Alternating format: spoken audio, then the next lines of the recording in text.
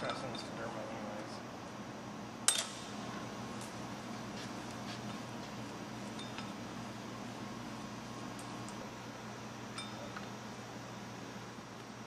So Tom gets it. Get that. Go over.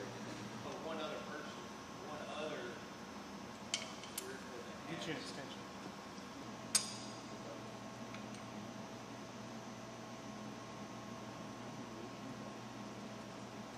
Not all of them. All the ones I did, I did.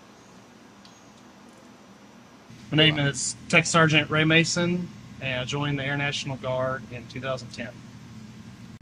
I wanted to learn a new skill, and I wanted to provide for my family.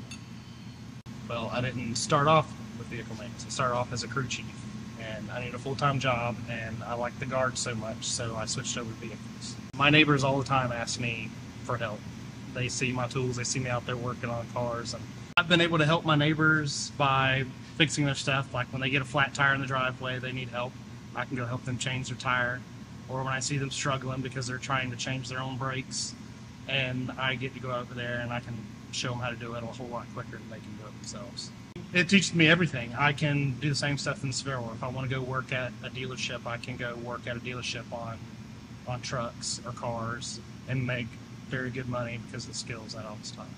Um, you get a lot of experience with technology in our shop because of our computers that we have on these newer vehicles. We have to most of the stuff is electronic, and we have to learn the computer systems on these trucks and how they work.